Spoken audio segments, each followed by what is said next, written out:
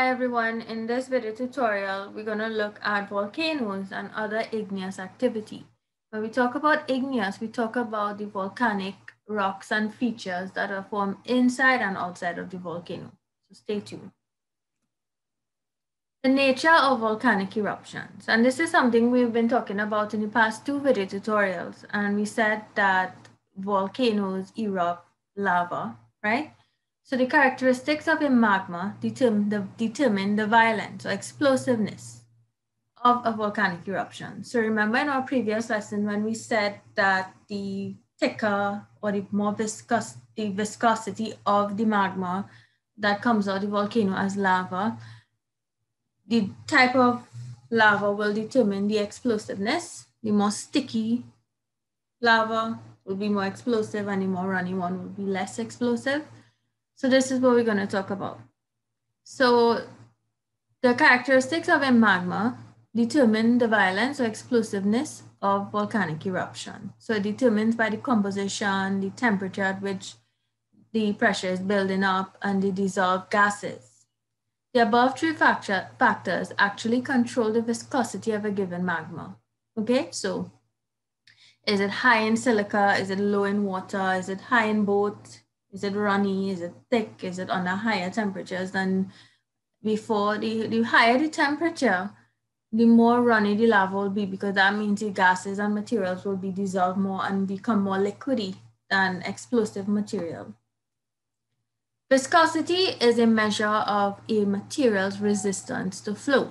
So for example, if you take glue and you pour it on the side of something, like let's say the side of a, a a short cup or something, it will, it will stick while it flows. This means it is viscous. However, if I pour water, it will just run, right? So one is high in viscosity, one is low in viscosity. Viscosity in essence means sticky, right? So when we think about viscosity of lava, think about stickiness. Always remember sticky. Something that is sticky is viscous. Something that is not is runny. Now, viscous in the American sense is spelled with V-I-S-C-O-S and viscous in the British sense is spelled V-I-S-C-O-U-S.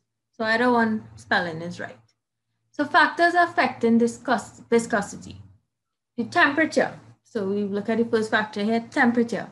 Hotter magma are less viscous, meaning they are more melted. Think about it if I have, for example, a chocolate and I just have it at room temperature and it melts, it will be not that runny, but it will be kind of sticky. However, if I apply some heat to it, it will become liquidy, right? The next factor affecting viscosity is composition. Silica, and this is the chemical version of silica, SiO2, which is Si is silica in the periodic table and O2 is oxygen. The silica content. Higher silica content means higher viscosity. If you think about silicone or silica, you think about something gluey, right? Example, felsic lava such as rhyolite. So this is just an example of lava. Low silica content means lower viscosity. So it is like watery lava, meaning it's runny. Example, mafic lava such as basalt. And the basalt lava come through cracks in the earth's surface and just flows to the side. And they form layers eventually. And the high silica composition lava will be explosive and pyroclastic. So it will kind of stick up to the side and become very violent in terms of a, a volcano. Dissolved gases now determines the viscosity Gas contents affect magma mobility. Gas expand within a magma as it nears the Earth's surface due to decreasing pressure. So when the magma is below the Earth's surface, it is very high pressured. And as it reaches towards the surface of the Earth, it loses that pressure. So if this is our volcano, I'm just sketching something really fast. And this is the vent. And this is the Earth's crust and this is below the earth, right? This is where the magma chamber might be.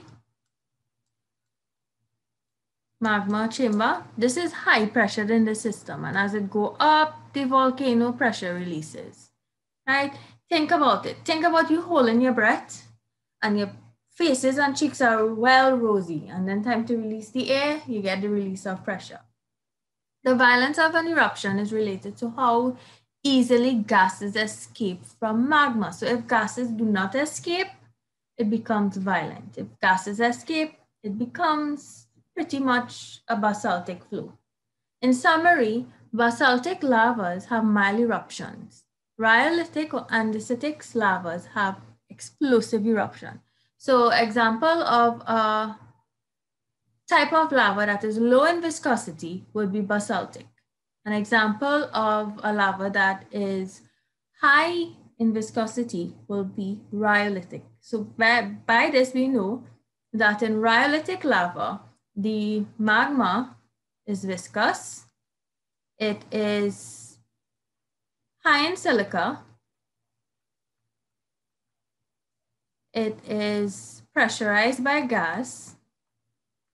Think about fireworks and when we light a fireworks, there's pressure there. The gases is, is pressured and it explodes. It's the same thing with a volcano, a big multi-size firework chamber. That's what I call it.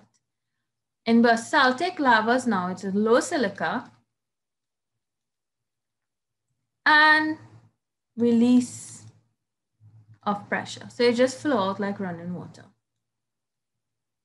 Volcanoes are pretty interesting if we apply the mechanics and understand how it works. So the materials extruded from a volcano. We have the lava flow.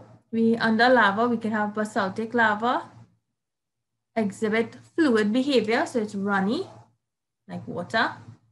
And the types of basaltic flows we have, example, is the Pahoehoe lava, which resembles a twisted and ropey texture. We have a picture of that coming up. It's basically like a kind of fluffy looking like how we would play with slime. It looks exactly like slime, except it's hot and it's wet and it, it's very much fire-like, right? And as lava, rough, jagged, blocky texture. So lava could be rough, jagged, blocky, meaning they have small stones in them. And then we have the Pahoehoe lava, which resembles slime. So I, this is my example slime. So I know many of you know what is slime. So when you see the picture of Pahoehoe lava, you will understand what we're talking about. When we talk about now the dissolved gases, it is 1% or 6% by weight, and it mainly consists of H2O, which is water, and CO2, which is carbon dioxide. So H2O is water, and CO2 is carbon dioxide. And as you reach into secondary school, whether what form you're in, you need to understand that H2 is water and CO2 is carbon once you're doing a science subject. Remember, geography is a science. So sometimes you have to apply the little chemistry, you have to understand the physics and so forth. So this is a Pahoehoe lava flow. It looks like slime to me, right? It's very much um, very slow runny. It is runny, but it moves slow. It don't run fast like water. And it, when it cools, it solidifies into layers and it looked like slime. So this is what I mean.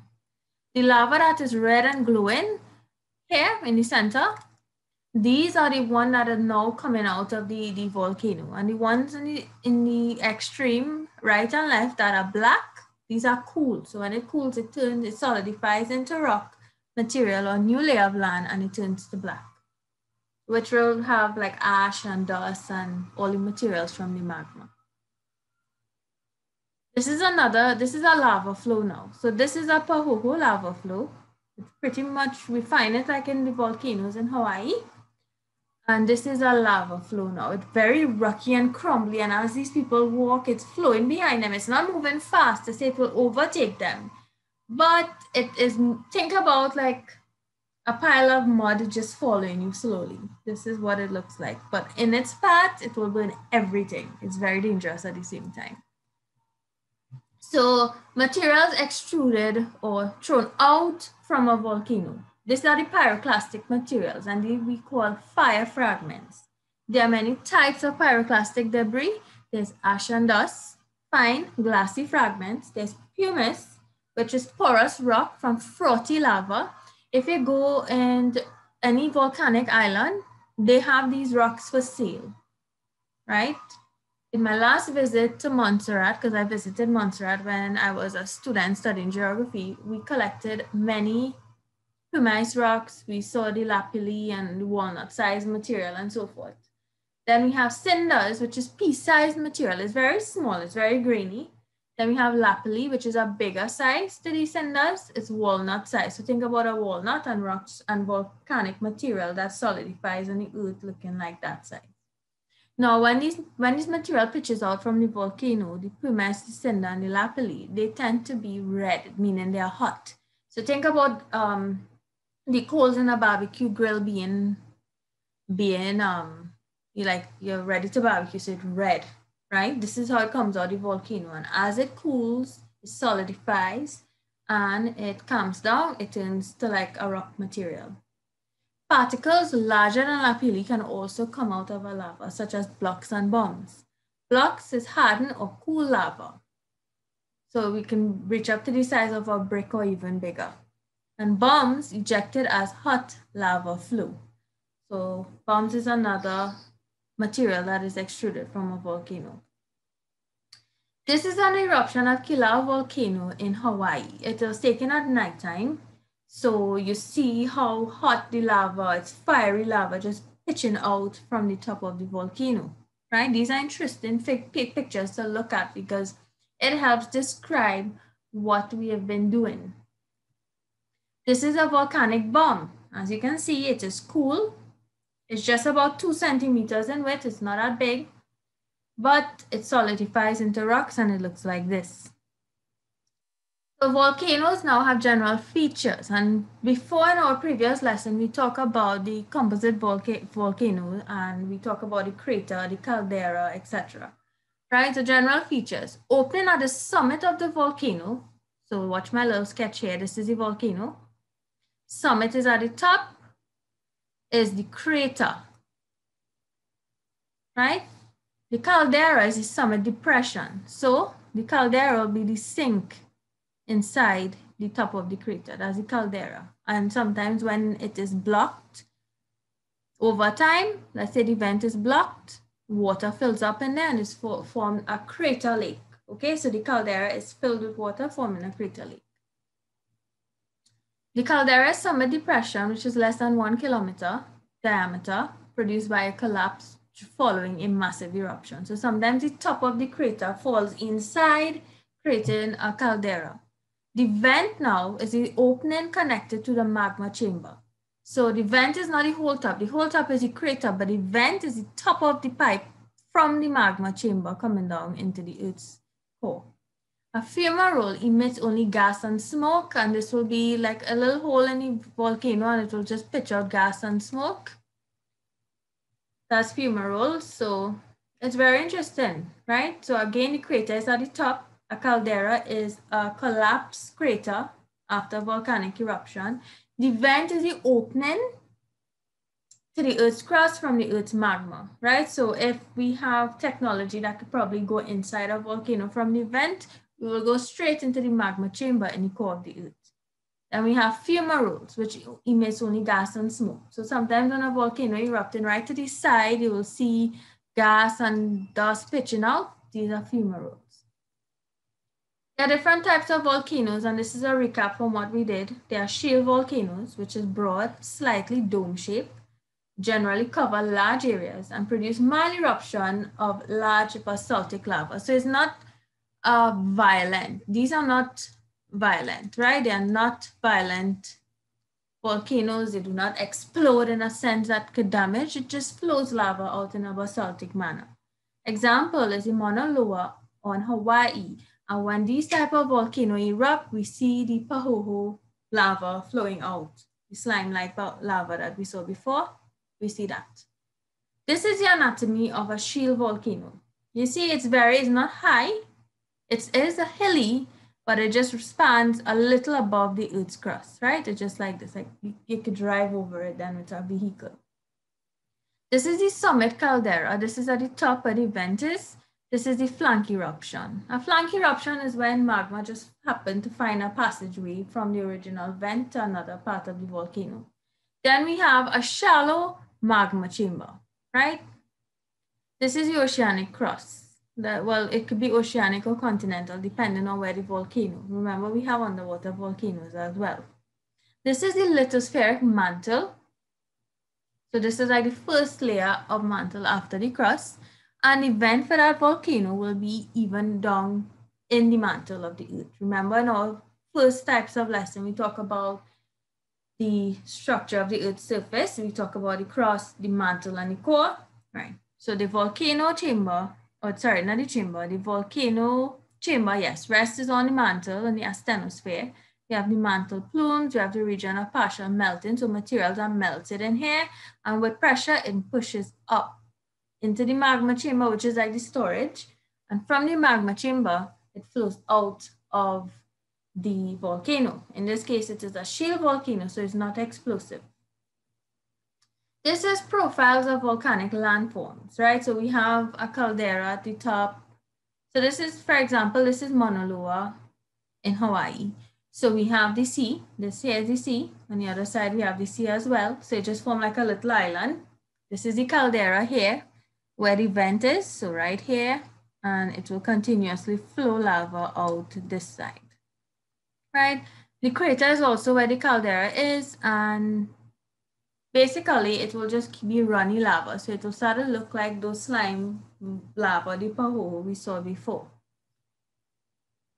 Then we have cinder cones, and cinder cones are built from ejected lava, mainly cinder-sized fragments. Steep holes and angles, they are small size and frequently occur in groups. Now, cinder cones are just a byproduct of a volcano, but it has potential to erupt and cinder cones look like what this picture is showing us right here. Okay, the shape just, it's like a very tiny volcano then. This is the anatomy of a cinder cone volcano. We have the pyroclastic material from each eruption being built up here. We have the vent, the crater, and the eruption. They look pretty much like a mini volcano. This is the Paricutin volcano in Mexico, which erupted in a cornfield in 1943, burying the entire town. So this is the top of the church's tower here. This is a tall building, and this is the volcano erupting here. Volcano erupted a good distance away from where this church is, right? So think about all the material falling out. This is after the volcano erupted. After the volcano erupt, all the material end up flowing out, covering buildings and so forth, and burning everything in its path. This, what we see here, is just the ending of this volcano, okay? It is not um, it is not active at the moment. It just finished erupting, hence it still smokes. So the fact that it's still smoking means pollution is still on our eyes. Remember, these are gas, toxic and noxic gases that are released from the volcanoes. And this enters our atmosphere and adds to the greenhouse effect, right? We have to do a, learn about the greenhouse effect eventually. So things to look forward to. The next type of volcano is the composite cone. And this is the regular volcano structure that we know of. It's also called a stratovolcano. Most are located in the adjacent are located adjacent to the Pacific Ocean. Example, Fujiyama and Mount St. Helens. It's a large and it's classic shaped volcano. As I said, the, the, the regular shaped volcano that we know of. It's thousands of feet high and several miles wide at base.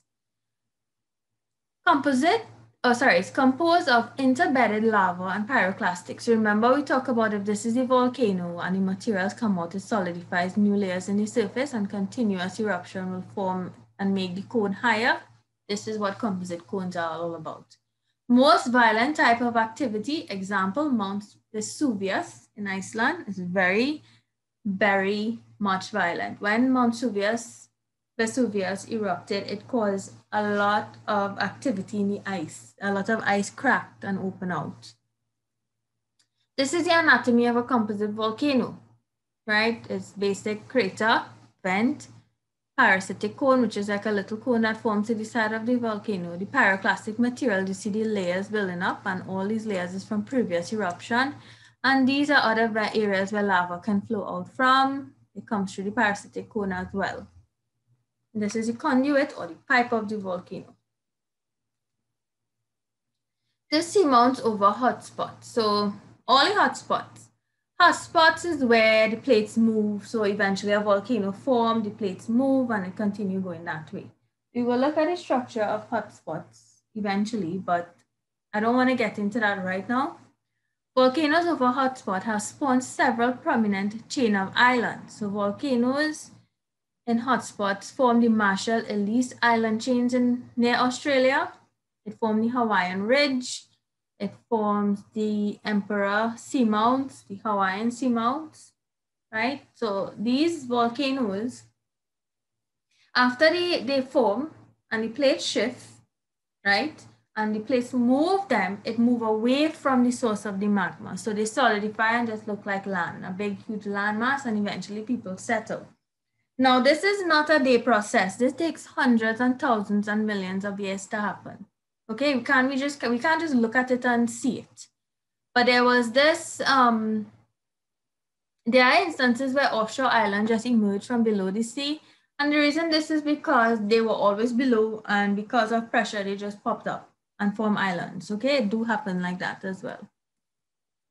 These volcanoes became increasing these volcanoes become increasing younger, proceeding southerly than southeasterly, right? So this is the direction of the plate moving. It's moving that way, right? And the older volcanoes are up here on the north side. So this is the movement of the plate. The oldest volcano is here and then it comes down. And the younger one is to the very end. So as the plate moves, the older volcano go, right? The Hawaiian Islands. As the Pacific plates move west-northwest at a rate of about six millimeters per year, magma rises through the thin crust, causing volcanoes. The unrelenting erosion of waves tend to plane off the island unless protected by coral reefs.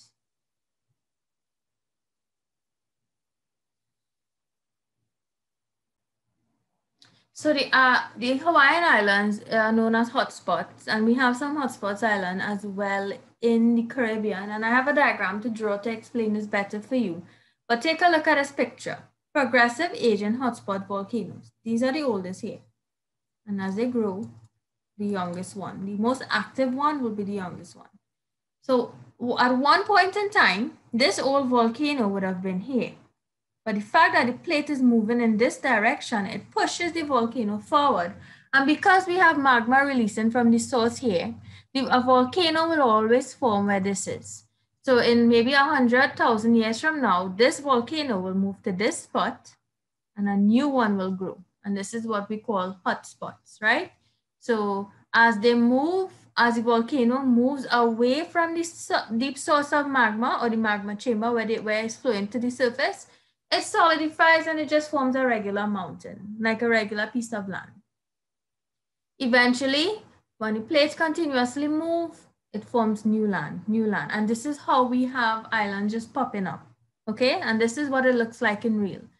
So this is the, the newest one here. The plate is moving this direction and all these are from previous years. And when I say previous, as I'm talking millions of years ago and they form islands. So this is how the Hawaiian Islands were formed.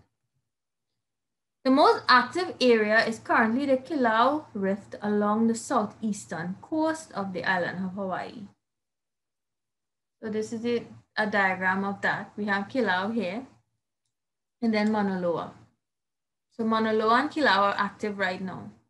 Here, large slumps of block produce tensile scarps, which allow molten lava to flow up to the surface more easily, lowering the head of the slumps.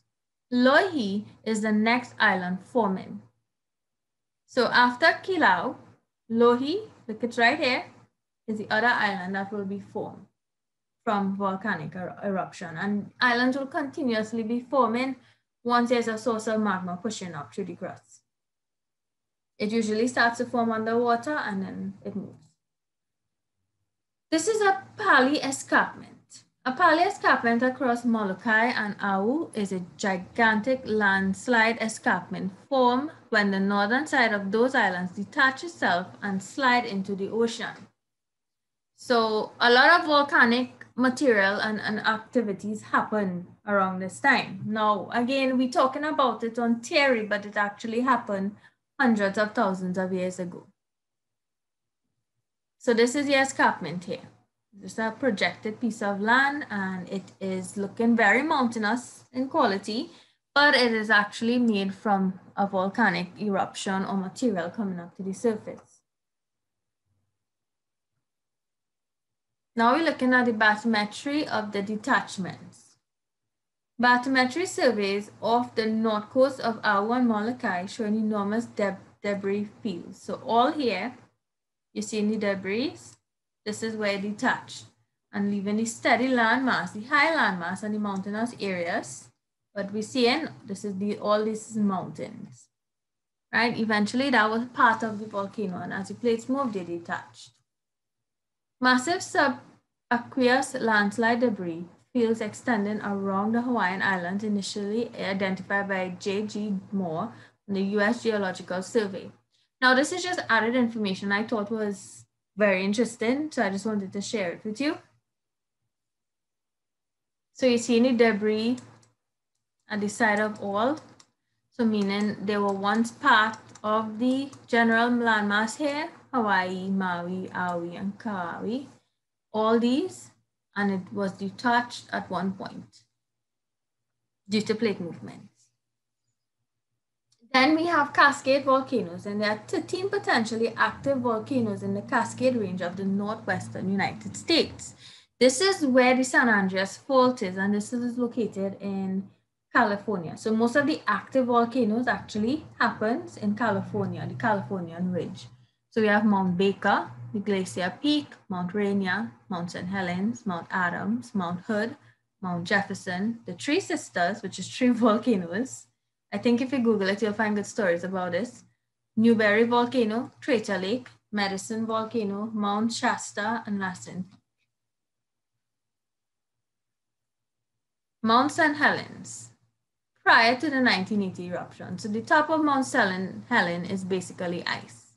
But when it erupts, it melts, obviously. Goes down. Mount St. Helen after the 1980 eruption. So this is before it erupted. See, it's so circle.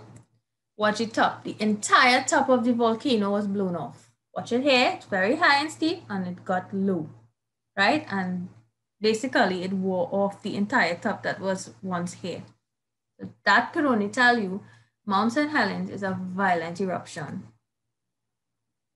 Precursory stages of Mount St. Helens eruption. So we have A, March 20th, 1980 intrusion of magma generates the earthquake. So because magma started to build up, they started to feel earthquakes coming from it.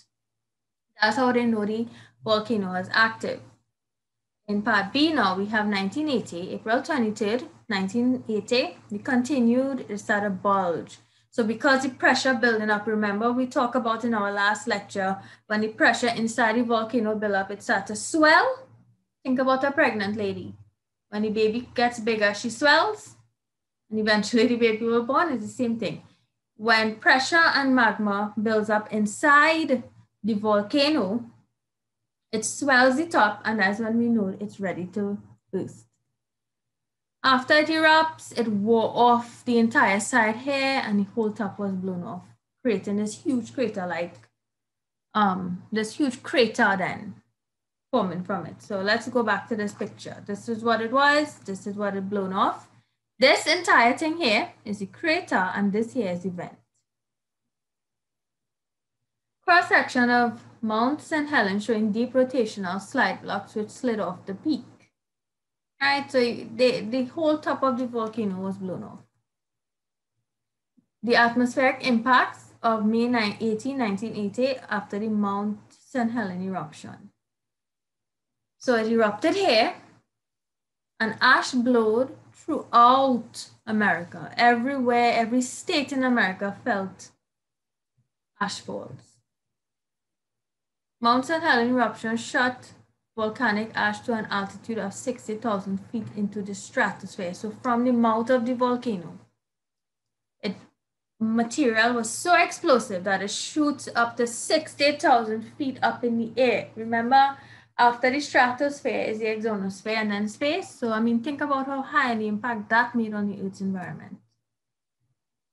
Relative distribution of blown down trees, lahars, debris flows in the Toutle River Valley on the north side of Mount St. Helens. So because of those, that eruption from Mount St. Helens, we had lahars forming and debris and flow which destroyed and blew down trees, right? So it, it impacted the ecosystem greatly.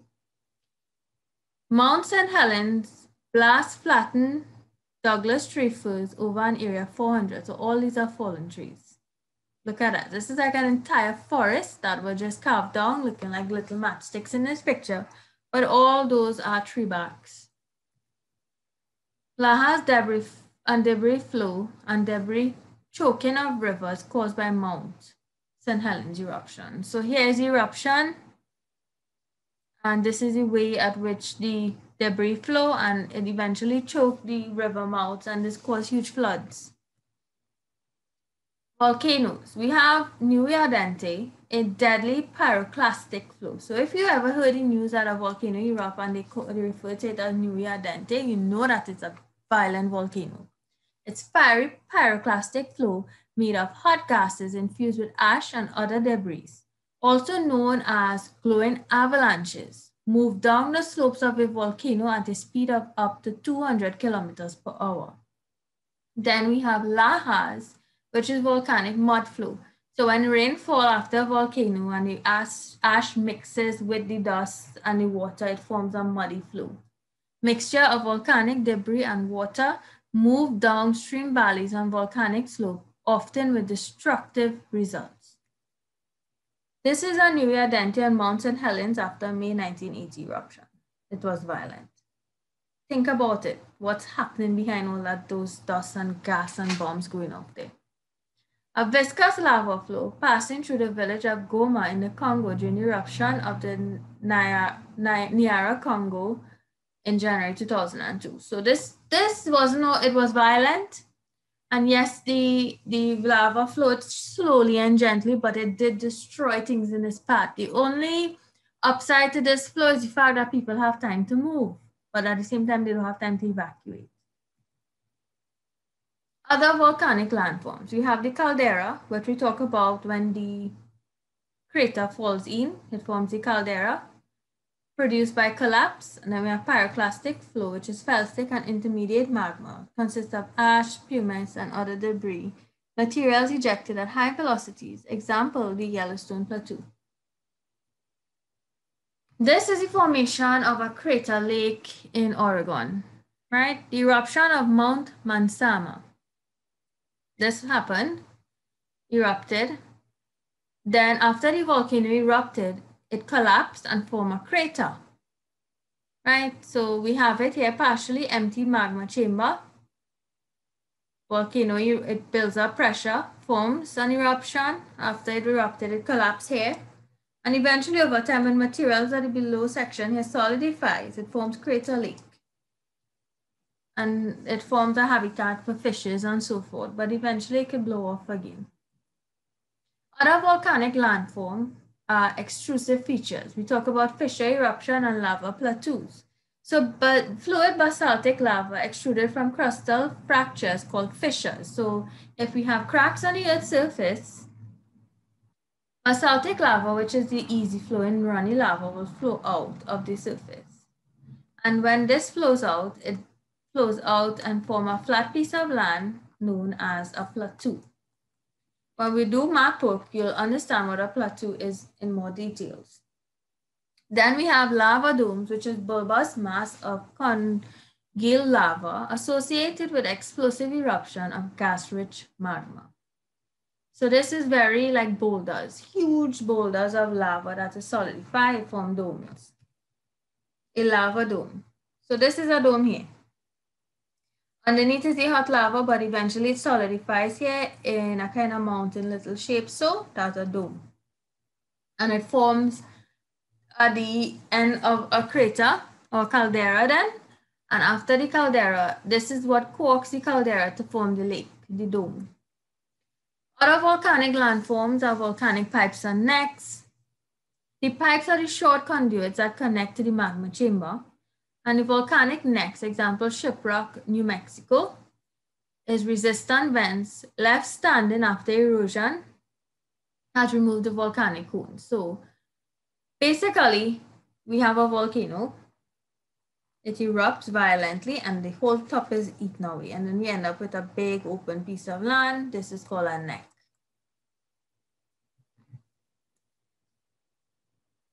So here we have a, a, formation of a volcanic neck. This is the volcanic neck here.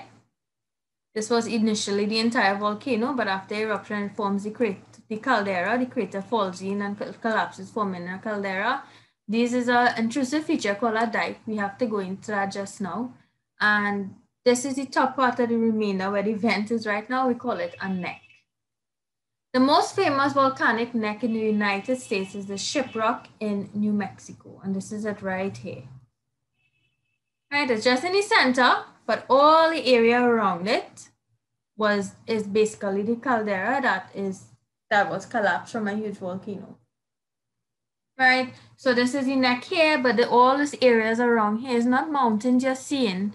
That is the caldera right? This is like the new vent of the volcano. So if the volcano here after erupt, it will start back right here. And this whole thing is the mouth of the volcano. Intrusive igneous activity. Most magma is then placed at depth in the earth. Once cool and solidify, it is called plutons. So sometimes before magma reaches the surface of the earth, earth to call lava, it is inside the, the crust and it, sometimes it's solidified and we call it a pluton. The nature of Pluton. The shape is tabular, which is very sheet-like. It looks like this. Versus masses, massive. Orientation with respect to the host or surrounding rock. It could be concordant or discordant. Other intrusive or igneous activity, we have Dike is a tabular discordant pluton and sill is a tabular concordant pluton. And then we have laccolith, similar to a sill, lens a mushroom shaped mass and arches overly strata upwards. So take a look at this diagram.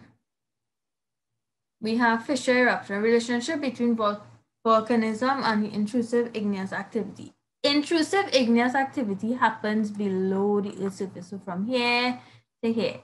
Extrusive, what we've been talking about, the cones, the caldera, etc., happens on top. This is a diabase dike cutting through the Precambrian age in Hakatai Shale at Hance Rapid in the Grand Canyon. So this is a dike in the Grand Canyon. A sill in the Salt River Canyon, Arizona. This is a sill, this piece right here.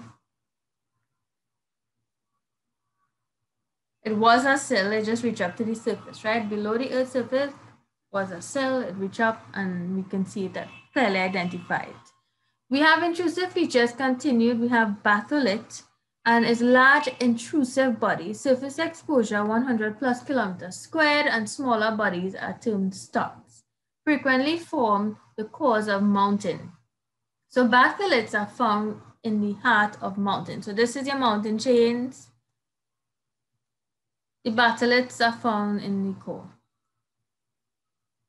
Remember, mountains are, are, formed from volcanic material and plate movement. Our next lesson is full mountain, and you'll understand why the northern range stands, why we have huge mountains such as the Himalayas and so forth.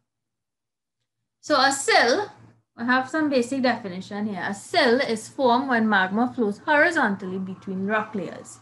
So let's say this is a volcano right? And this is below the, the crust.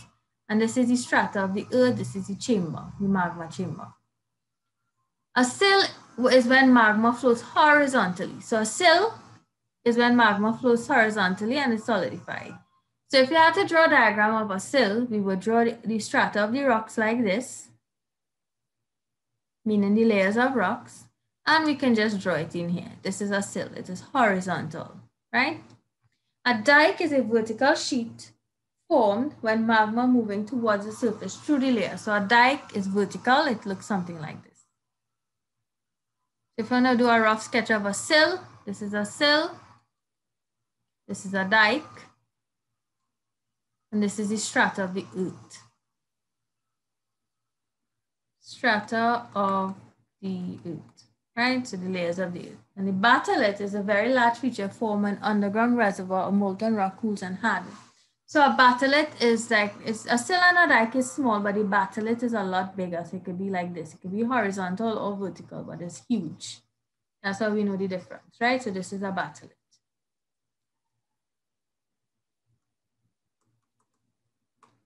So remember that, right? So we have a sill, a dike, and a batholith. So let me take you to my whiteboard and I will show you a proper diagram. Let's don't do things half-heartedly. Let's do it properly. So we have, I will put this, the, the layers of the earth in brown. Right, so this is the layer of the earth. We have it looking like this, with different layers, strata. Right, and we'll label in black. So these uh, the layers of the earth. Okay, maybe the mantle below the crust. Okay, below the crust. If we draw a sill, a sill is basically that feature running horizontally. So let's draw a sill. A sill is small and it looks something like this. And we can color it in. This is a sill. So let's label it. Let's label it sill. And then we have a dike. A dike is up on a vertical way like this. So a sill is just a vertical, a dike, sorry, is a vertical sill, right? And all these are intrusive features. So this is a dike. And a batholith now is the big boulder-like thing in the bottom or bigger than a sill or a dike and you color it. Right, so this in essence is volcanic features. And I really wanted to appreciate these things because we live in the Caribbean, we live amongst plate margins and you need to know how things happen, right?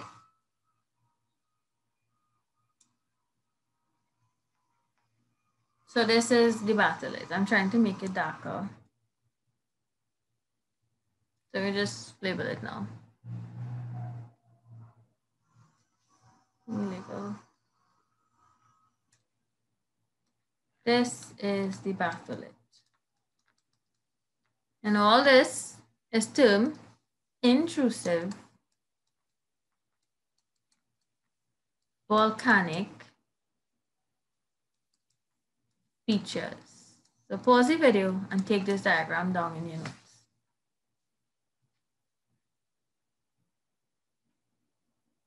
Right, so let's go back to our lecture now. So we know what is a sill, a dike, and a batholith, and its internal or intrusive features of volcanoes. We have a classic igneous batholith. So this batholith is this big thing in the bottom. The sills run horizontal and the dikes run vertical. Again, diagram of a batholith. When batholiths are uplifted and exposed, they are usually resistant strata that form the roots of mountain ranges or eroded highlands, right? So at the base of mountains, you can find batholiths. These are the batholiths of Western North America. We have coastal range batholith, we have the Southern California batholith, and this form the mountain range in the Californian state. So plate tectonics and igneous activity. So global distribution of igneous activity is not random, right? Most volcanoes are located within or near ocean basins. So it's most volcanoes, when we think about volcanoes, it's always found near the ocean. Basaltic rock, which is equals to oceanic and continental setting. So because we, we have runny lava, we call it basaltic flow right? Runny meaning water and high in silica. So buildup of the oceanic and the continental setting. Then we have granite rocks, which is basically of land setting or the continental plates. Continental is landmass.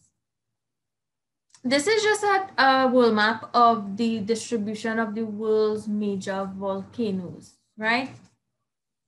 You'll see the names, and we'll go through this now. We have we have the Hawaiian chain, we have Kilauea, Mauna Loa. Below Hawaii, you'll find Australia, we'll see the volcanic chain of the Tonga Islands. We have Tamba, Tambora, Krakatoa. Krakatoa is a, is a underwater volcano that recently emerged. We have Mount Mayon, Pinatubo, Fujiyama. All these are in Japan and the Asian country. Mount St. Helens, you will see here, is in America near California. We have Popocatépetl, which is basically in Mexico, Paricutin and also Mexico. We have the Galapagos Islands, which is formed. We have the Nevado del Ruiz and Misti, which is found in South America near Chile. We have the Canary Islands. We have Mount Pelee, which is active in the Caribbean. We have Etna, we have Vesuvius, we have Santorini, we have Laki, Surtsey. Surtsey is very, very interesting. Surtsey was once underwater and one day, and this is real, a real story I'm telling you here. One day a fisherman was off the coast of Hekla by Laki fishing. He, would, as he was just fishing, making his daily meal and so forth. And out of the blue, the water started to rise. And eventually, Surtsey popped up.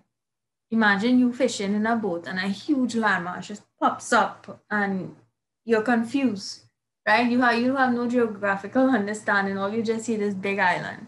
Surtsey is actually a volcano. So plate tectonics and igneous activity continued. Igneous activity at plate margins. We have spreading centers the greatest volume of volcanic rock is produced along the oceanic ridge system, which is the mechanism for spreading. The decompression of melting of the mantle occurs at, as the lithosphere is pulled apart, and large quantities of basaltic magma are produced. Volatile driven from the subduction crust lower melting temperature and so forth. So this here we have a destructive plate margin. We have the subduction zone where the oceanic plate is pushes downwards and it melts. It melts, water evaporates, and then the oceanic crust is pushed up against it. And this is how these mountains are formed when the plates move and pushes. Remember, we will look at fold mountains. We'll talk about folding and faulting and how they fold, how the land folds up. Plate tectonics and igneous activity. We need to know about the subduction zone, and this is where we have a destructive plate margin, uh, whether it be two continentals, two oceanic, or oceanic and a continental meet. So subduction zone occur in the conjunction with deep oceanic trenches, partially melting of the descending plate and the upper mantle. So the plate that subducts underneath the heavier plate it will be destroyed. Rising magma can form either an island arc in the ocean or a volcanic arc in, in, in a continental margin. So associated with the Pacific Ocean Basin, we have region around the margin known as the Ring of Fire. A majority of the world's explosive volcanoes are found in the Pacific Ocean Basin, which is subducting. So go back to this diagram. Subduction, the oceanic crust is sunk the heavier crust is the oceanic crust and it sinks, the less denser crust comes over it. It melts at the subduction zone. And because of that, it pushes magma up, right? And it forms volcano. And by the plate constantly moving, it could shift away and form a chain of volcanoes or a chain of mountains. Or in the ocean, it could form hotspots. Rising mantle plume, rapid decomposition. So we have a is rise in mantle plume. B, rapid decompression, melting produces flood basalt. And C, rise in plume tail produced by linear seafloor volcanic chain. So plate tectonics and igneous activities continue to talk about intraplate volcanism. Occurs within a tectonic plate, is associated with mantle plumes, which is the mantle below the crust, the, the lava magma below the Earth's crust. Localized volcanic region in the overriding plate are called hotspot. It produces basaltic magma and sources in the oceanic crust, such as Hawaii and Iceland. It produces granitic magma sources in the continental crust, such as the Yellowstone Park. So this is the global distribution of flood basalt provinces and associated hotspots in the Earth's crust. Some of these formed in failed continental rifts like Siberia and Keweenaw rift in the USA. So all these here are basaltic flows. You see it black on the map. Volcanoes and climate. The basic premise, explosive eruption emit huge quantities of gas, sulfur dioxide, SO2. So SO2 is sulfur dioxide and fine grained debris. A portion of the incoming solar radiation is reflected and filtered out. Past examples of volcanism affecting climate are Mount Tambora in Indonesia and Krakatoa in Indonesia as well. So these volcanoes emit, erupted and emit so much gas in the air, it changed the whole climate of where they um, originally were. For example, if an uh, active volcano erupts in Iceland or a place that is very cold, or maybe Greenland where you have huge ice caps, this can change the climate. It can lock heat into the earth and by this, the ice will melt. Now, this is a separate topic called the greenhouse effect. As I say, we will go through this eventually. So more modern examples of volcanoes that affected the climate and the weather will be Mount St. Helens in Washington, El Chichon in Mexico, and Mount Pinatubo in the Philippines. The Pinatubo eruption in June 1991 that a map showing here the aerial distribution of pyroclastic flow. So here's the mount or the vent of the volcano and all these areas is where materials reach. If you have to put a volcano inside Trinidad, our volcanic material could probably reach in the heart of Guyana and so forth. It, it, it shoots far. So we have sulfur dioxide emission in large volcanic eruption from 1979 Remember, the more sulfur dioxide or gas enters the atmosphere, it causes a change in the weather patterns and so forth. These gases go up into our atmosphere and blocks the, the sunlight. Eh, well, it don't block the sunlight, but it traps heat into the Earth's surface. So we get hotter temperatures. So the impact of sulfur dioxide emission in the global climate caused by the formation of hydrogen, which is water, and sulfur dioxide, aerosol of deflecting radiant energy. So the volcano erupt, the big cloud that form here have sulfur dioxide ash and hydrochloric acid. HCI is hydrochloric acid.